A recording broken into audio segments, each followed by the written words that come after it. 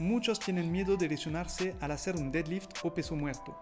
Te voy a enseñar la técnica perfecta en 5 pasos.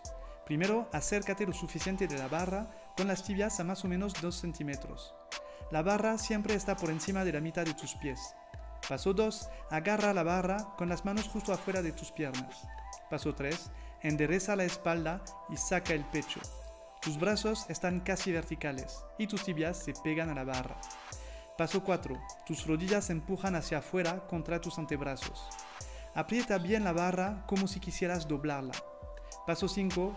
Empuja los talones en el suelo para enderezarte y levantar la barra. La barra siempre queda pegada a tu cuerpo durante todo el movimiento.